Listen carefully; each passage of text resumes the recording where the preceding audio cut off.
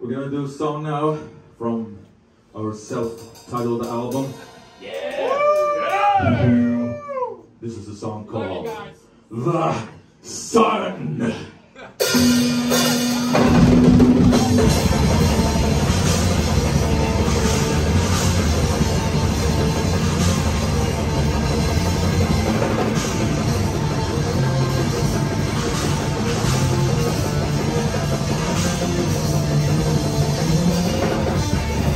day.